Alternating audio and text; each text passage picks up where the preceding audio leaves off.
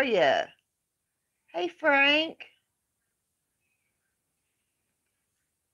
How's everybody doing tonight?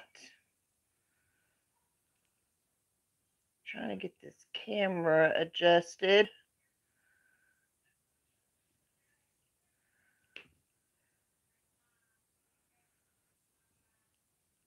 Y'all bear with me here a minute.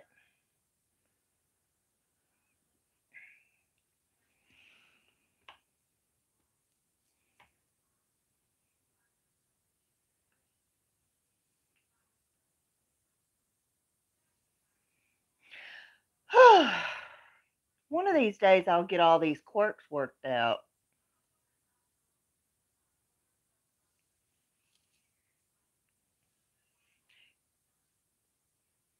Can you hear me okay?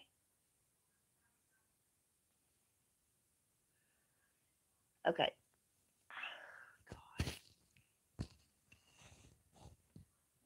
Hang on one second. I'll be right back.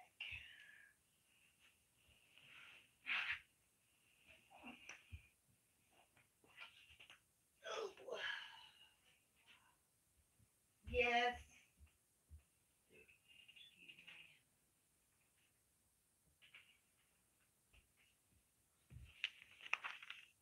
Oh.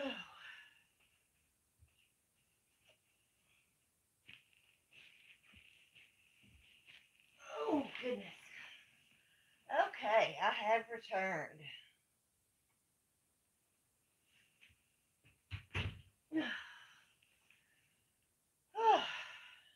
How's everybody doing this weekend? I'm at my daughter's house. We're doing Easter together. So, um, I made deviled eggs earlier and uh, making uh, my cranberry jello salad here in a little while. So,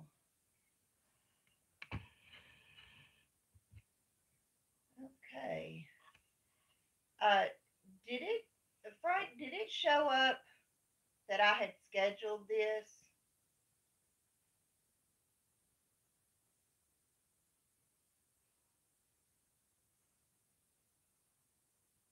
I wish these stupid. Okay, great, great. Hey, PJ, how are you? Oh, goodness. So, what are y'all doing for East? Hey, Lisa, how are you? Well, I'm doing all right. I uh, I'm at my daughter's this weekend. Um, we're doing Easter, and uh, it's pouring down rain. It's been storming all weekend, so. So, how many of y'all are fellow Gleeks? Do I have any fellow Gleeks in the chat room? Glee is something that my youngest daughter and I watched. And uh, of course, I was a choir kid my whole life.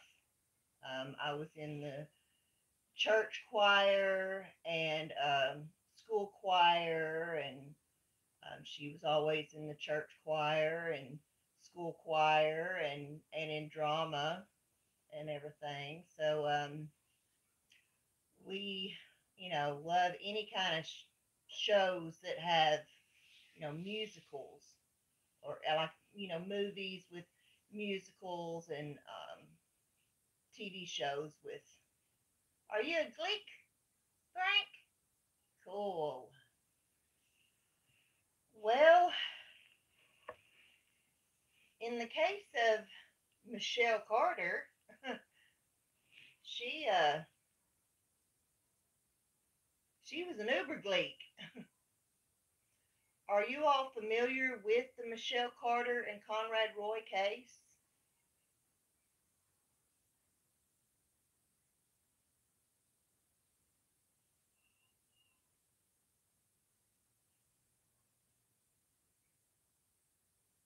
Okay. Okay. Well, Lisa, I am going to um, I'm going to give y'all um the whole backstory on on this and um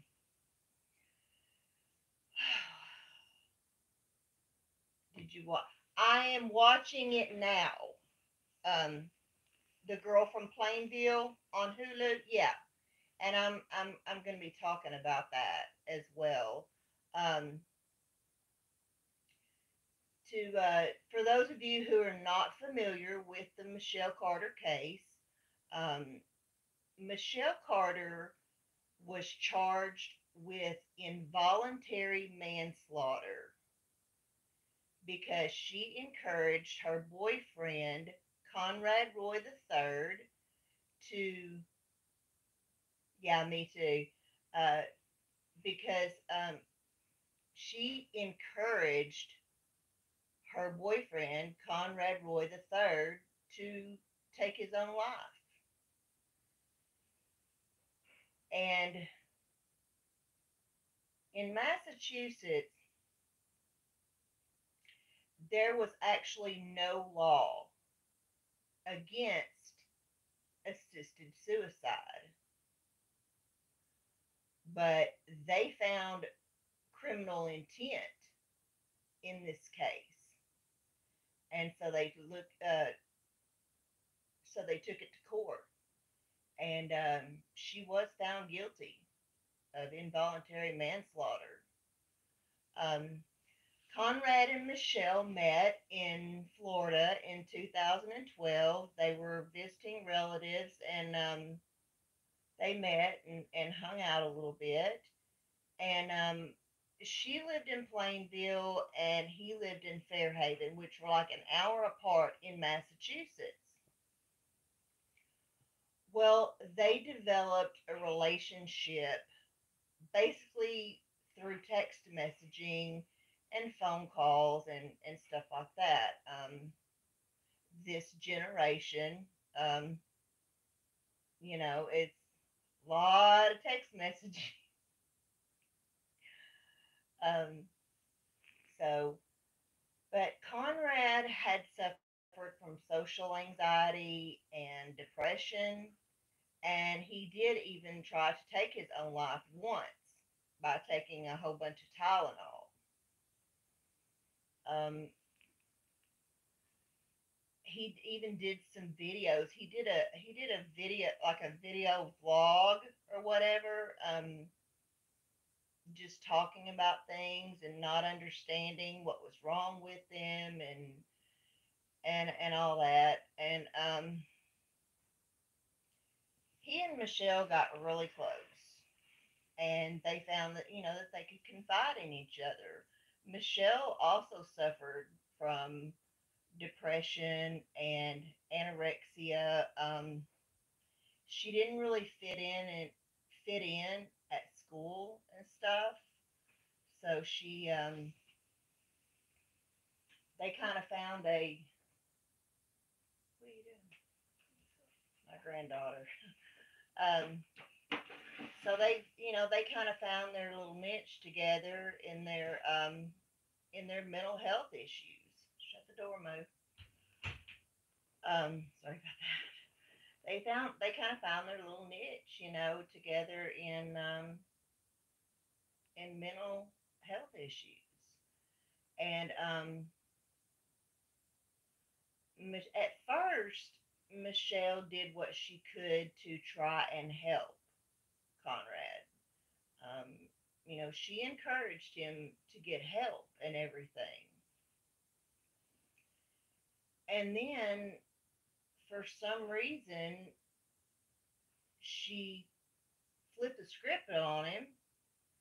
And um, when he started talking about suicide again, she started encouraging him to do it.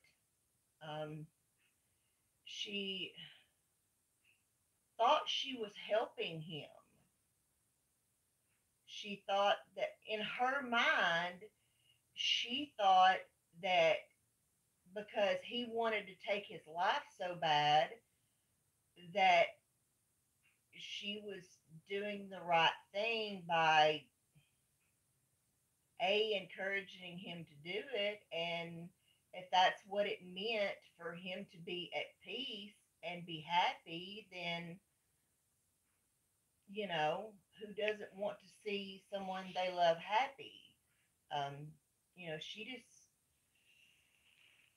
she had some screws loose in her head and her way of thinking but where it turns sinister is that, as I said, Michelle did not really fit in at school. Um, and she had this obsession with the television show Glee. Yeah, helping him die when he was healthy. Yeah, he was trying to get better. And um, if anything, he was begging for help. But she had this um, obsession with the television show Glee. And, you know, if you watch the show Glee, Glee was the show for the geeks, the, the kids who didn't fit in, the weirdos, you know, the um, it had it had its place for everyone who felt like an outsider. And she developed a um, an obsession with Lea Michele, who played um, Rachel Berry, and Cory Monteith, who played Finn Hudson. Lea Michele and Cory Monteith were not only a couple on the show as Finn and Rachel, or Finchel, if you're a real Gleek, you know the word Finchel um, they were in an off-screen uh, romance as well, and they were just, you know, they were the they were that picture perfect couple. Um, you know, if you remember, like when um, Kristen Stewart and Robert Pattinson, you know, the Twilight uh, couple was together. You know, it was just like they they were the, you know, the cute, cool thing. But um, Michelle, she like she even tweeted a lot about Glee, and she would tweet at Michelle or Lea Michele all the time, and and whatnot. So, um, closer to July, excuse me, she really got hot and heavy about encouraging Conrad to, to take his own life. And when the police did the investigation, there were 60,000 text messages between them. Yes, uh, assisted suicide was not against the law in Massachusetts. When they prosecuted her, it was not against the law. But they found criminal intent through her text messaging. So that was how they managed to get her on involuntary manslaughter charges. Not to mention that it was immoral as hell. But in the month of July, she started really getting hot and heavy about encouraging him to do it. And she would say things like, um, you know, so are you going to do it? Go watch.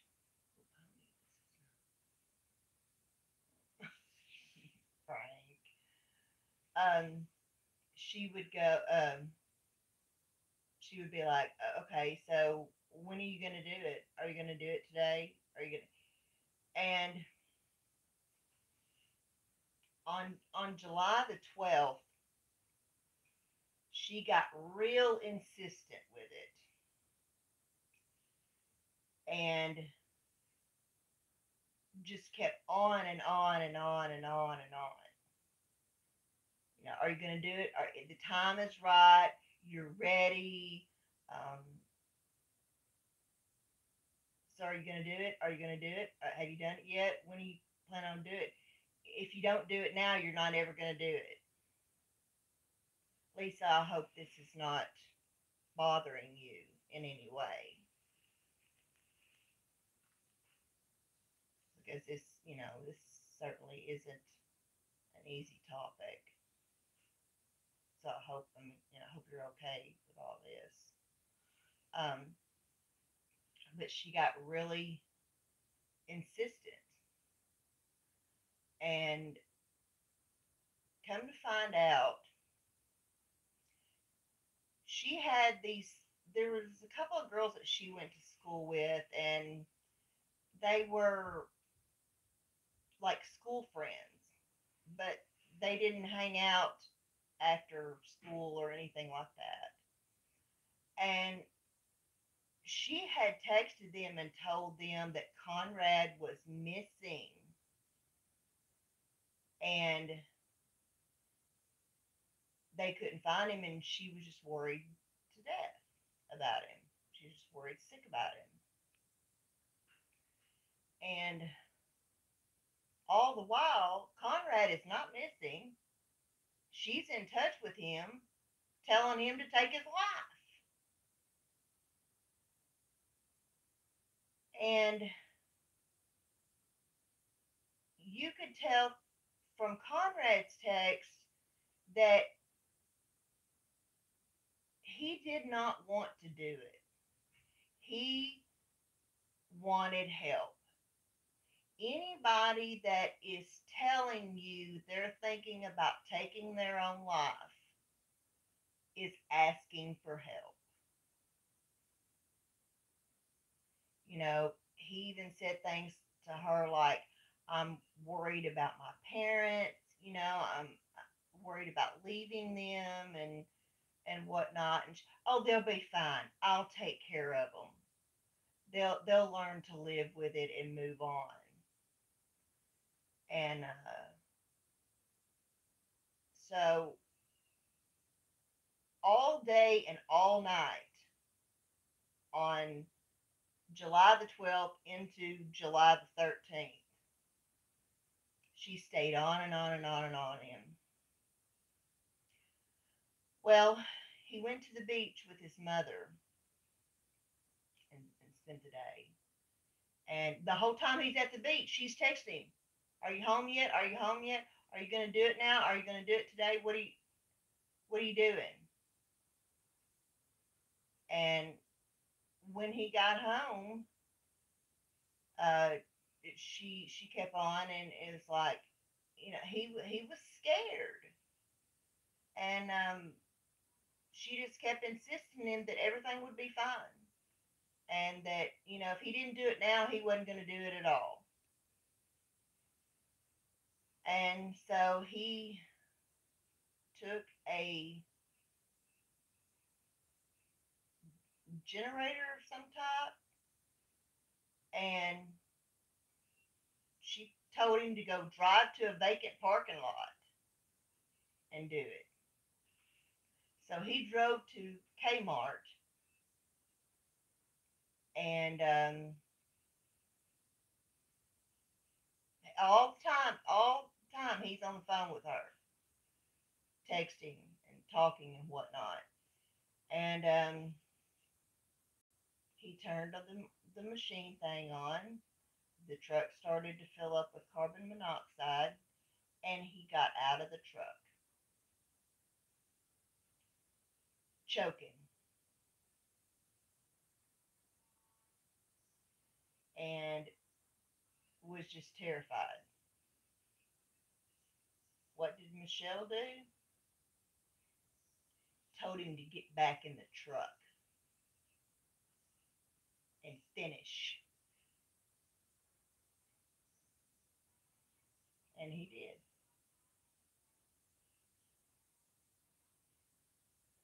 and he was found dead later on after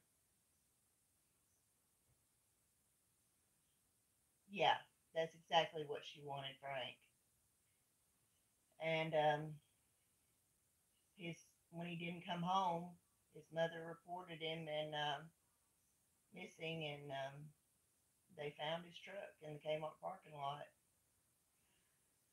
Um one of the text messages that she had said was she told him to delete the texts between them.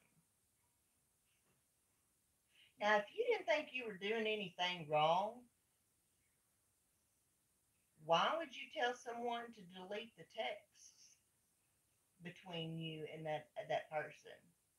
If you didn't think that encouraging this young 18 year old kid to take his own life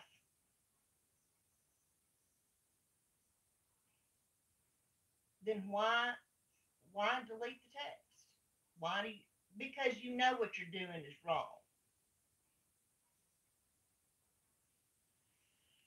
Now Conrad's parents were not aware of they weren't really aware of Michelle at all. Um, and she began contacting them and she um, was just being overly, you know, um, helpful and um, there for, you know, and comforting his family and stuff. And the family is like, who is this girl? This is just weird. Well,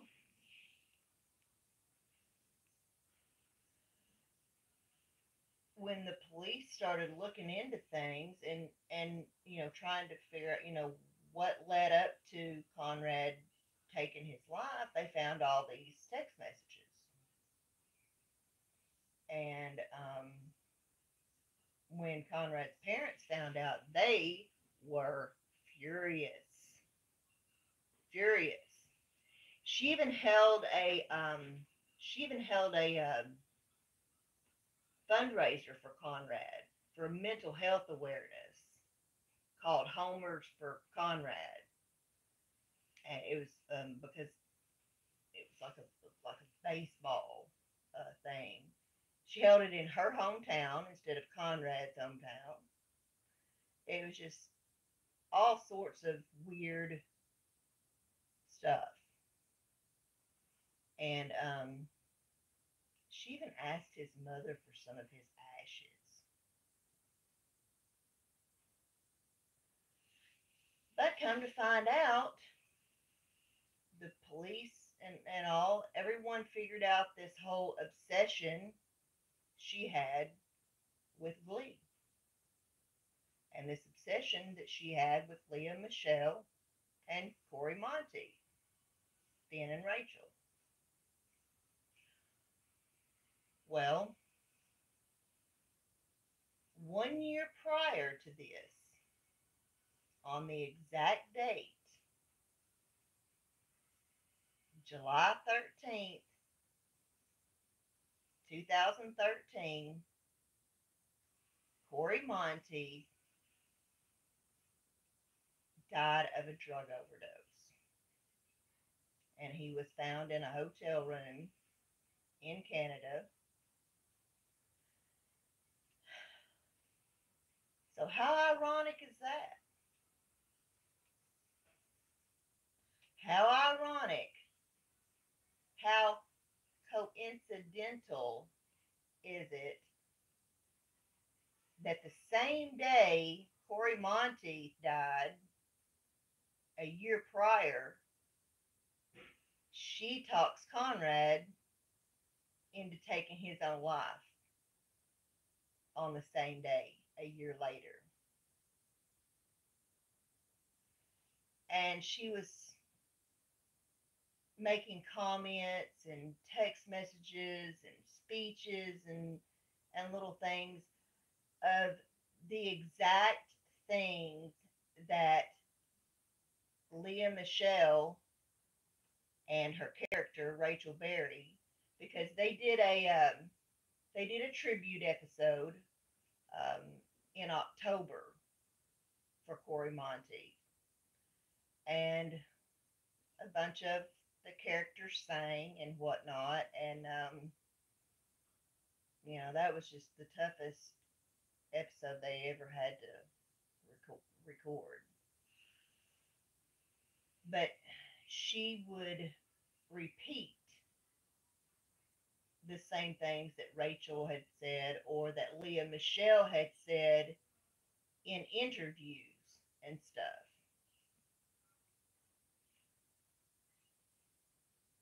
So, as I said, once the police started looking into all this, um, the prosecutor, they decided to indict her and found enough evidence to uh, of criminal intent that they indicted her for involuntary manslaughter and she was arrested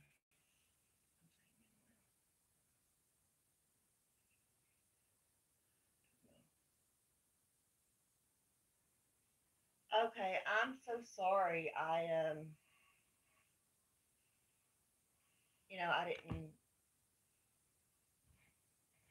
I I apologize. I, you know, didn't know that um anyone would come to watch that wasn't aware of the case that it would strike such a nerve. I'm really sorry if you if you can't stay, I, I understand. Okay, that's fine, Lisa. That that no, not a big deal. Not a big deal at all. Um, but she was indicted, and uh, they arrested her on uh, February the fourth, two thousand fifteen, and she went to trial and these girls that you know she had tried to manipulate um, because she was seeking attention. What it amounted to was she wanted to play the grieving girlfriend just like Lea Michele and she wanted all this outpouring of love and all this outpouring of attention and stuff the way Lea Michele got when Cory died. You know, she was just, she was living in this fantasy world. And, um, you know, it wasn't until those girls found out the truth you know, they they were being really nice to her and but being, you know, supportive and and everything and you know, and then she got a bunch of attention for the uh, little uh, softball thing that she she did, the little fundraiser and all. So she was just, you know, she she was loving all the attention, and it is exactly what she wanted.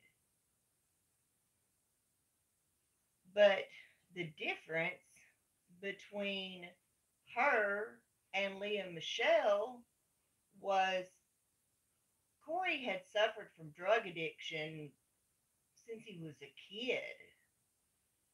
And he got clean and everything. And then he got the gig on Glee as Finn. And, you know, Lea Michele really loved him and she, you know, did everything she could to, you know, keep him off drugs and keep him straight and everything. And, but she did not tell Cory to take drugs. She did not tell Cory to take his own life. She, you know, she, she did not tell him to go into a, a hotel room and OD. Um, whereas Michelle, you know, I mean, I've been following cases since the late 80s. Awful, horrible, brutal cases. And I got to say, the case of Michelle Carter ranks right up there next to Jodi Arias. If you don't know who Jodi Arias is, be glad. She's nuts. She killed her boyfriend, tried to cover it up. But Jodi, or excuse me, Michelle did some very similar things to, to what Jodi did. Like Jodi sent Travis's grandma flowers. She went to Travis's funeral. You know, Michelle did the same thing. So, you know, it, it's just, you're talking about people that I don't, I don't know. I, I mean, when this happened, my youngest daughter was same age as, as Conrad and Michelle. And when this happened, she and I had a long talk about this. And I was just like, you know, how, how do you, how do you do, I could not face someone's parents who my daughter talked into taking their own life. And of course, my, my daughter, she's like, you know, well, of course, mom, I would never do anything like that. And there were a couple of instances when she was in school where she had a couple of friends that were um, doing things they shouldn't be doing and um, one of the girls, we decided that we should report it to the school counselor, and we did. And um, CPS actually looked into the situation. This girl was cutting herself, and she was claiming that she was being sexually abused. Another girl um, that was a friend of hers um, kept running away. And um, one of the times that she ran away, um, my daughter knew where she was at, found out where she was at, and we, you know, went down to the police station with her foster mother and, um, you know, did the right thing you know, when someone, when you know, as they say, see something, say something. When you know someone is being hurt or doing something to hurt themselves or, you know, threatening um, to take their own life and, and things like that, you encourage them to get help. You do what you can to get them help. But anyway, Michelle was found guilty of involuntary manslaughter. And she um she was first um got two and a half years for for it, which was then reduced to 15 months. Well, she didn't even do a year. She uh, only did 11 months and got out for good behavior. Can imagine that. But um, she has uh, kept a very low profile. You know, and I can't imagine what it's like for her now that the whole world knows what she did. I mean, you know, these serial killers, they got women writing to them in prison, professing their love and wanting to marry them. Um, but you know, this is a a young, still a young girl, and I can't imagine how she's, you know, moved on to try and function in society and make new friends or even date again or or anything like that. Um, you know, um, said, she keeps a very low profile, so you know, there's just not much talked about or, or written about her now. But um, this new Hulu series, The Girl from Plainville, I I actually love the way they're doing it. And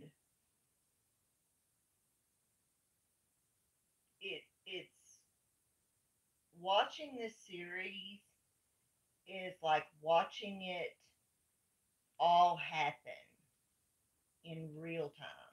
Like you're like you're there physically watching all this stuff go on back and forth between Conrad and Michelle and and all that. Because, you know, as I said, when this case happened, I I was just floored by it all. And you know, it's one thing to read the the stories and stuff printed in the you know news articles and and whatnot and and even watch the trial and stuff but to see the relationship between michelle and conrad is just it it's it's bizarre um it really shows just how sinister the whole situation was even more so than just reading about it. You're now seeing it through this series that on Hulu. And it's it's disturbing. It's very, very disturbing.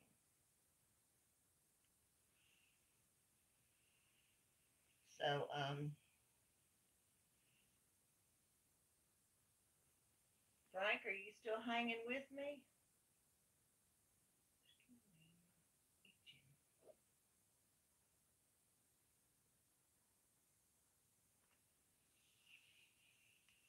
But yeah, I just wanted to um, I wanted to come on and, and talk about the case and and uh, see if any of you were watching the series or had followed the case when it happened or whatnot.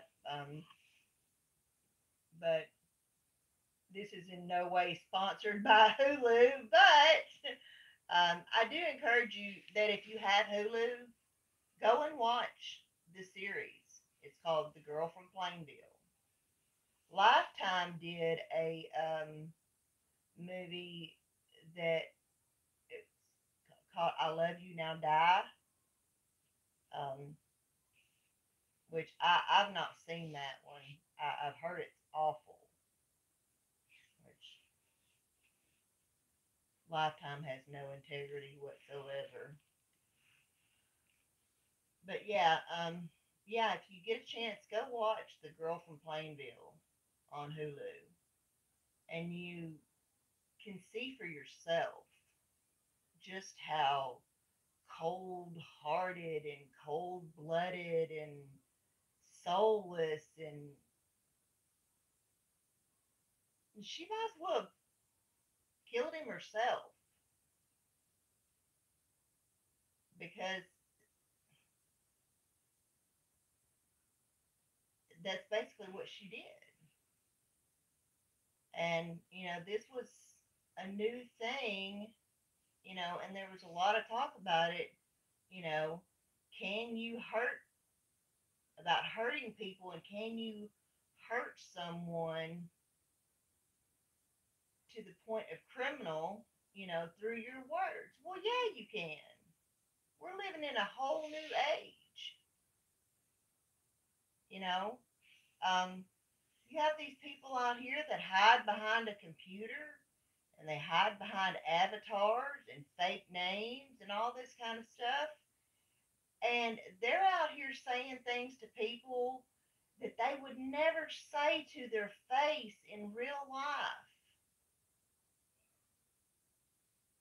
And you also have situations where you get enough bullying at school and then you go home and you've got to be and you're being bullied on Facebook and Twitter and Instagram and stuff.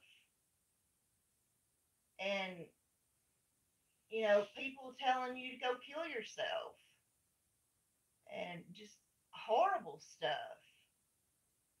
You know, um I actually I mentioned Jodi Arias earlier. Um I actually, that was when I actually found out just how crazy um, computer land was. And the things that people did, calling and threatening witnesses' lives, um, calling um, the domestic violence woman that testified for her calling and threatening her, calling places where she had um, speeches lined up and calling them and telling them not to have her. And I mean, just all kinds of horrible stuff. And they like literally threatened everyone who was supposed to have testified as character witnesses for Jodi um, to the point that they they never even got on the stand. They they they they didn't want any part of it. They didn't they didn't want to get on the stand and testify for and like her old boyfriend Darryl did, but um I mean he was just belittled. So um and you know we see that going on now um, in the Summer Wells case. People are calling CPS on each other just because they don't like another creator or whatever, and they got all this drama and beef and shit going back and forth. They're calling CPS on each other. They're calling Hawkins County on each other, saying so and so's uh, on probation and he's not supposed to be here, there, and and um, you might want to go check and and and and arrest him or. It, just oh, it's so frustrating. Like this is why they keep telling YouTubers to stay out of shit and that they're derailing the case. I didn't realize these people that had beef with each other were calling in bullshit you know, I thought it was just a bunch of people calling in saying, well, well I heard on YouTube that so and so said this, and and you might want to go check and see if you can find somewhere here or there or whatever. And then you got these psychics calling in and whatnot, and but no, no, that's not the case. So that is not the case. And it's just getting worse and worse and worse and worse. And it's sad.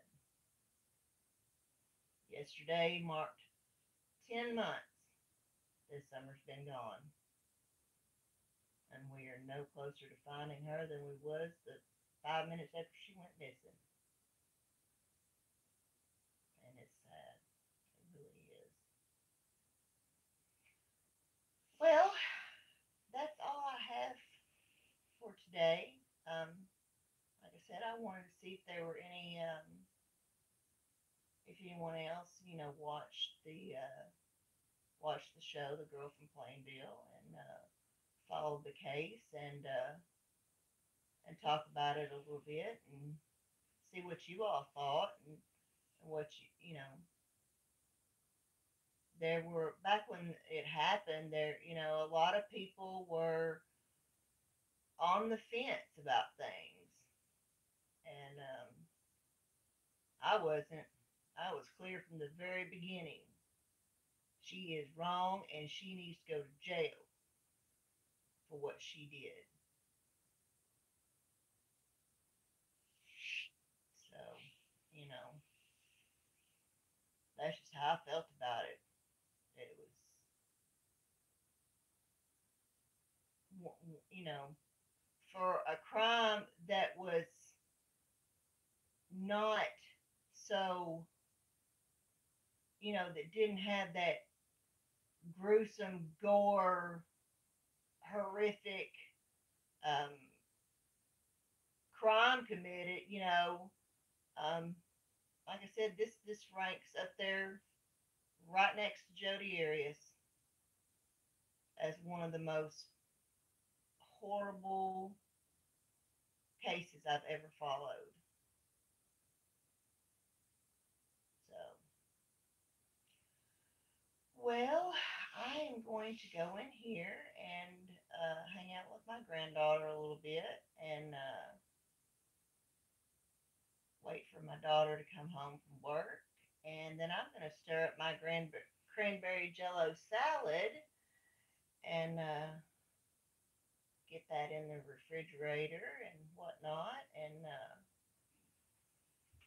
I want to wish you all. I want to wish you all a very happy Easter and hope you're getting to spend time with your family as well. So, and as always, please be the change that you wish to see in this world.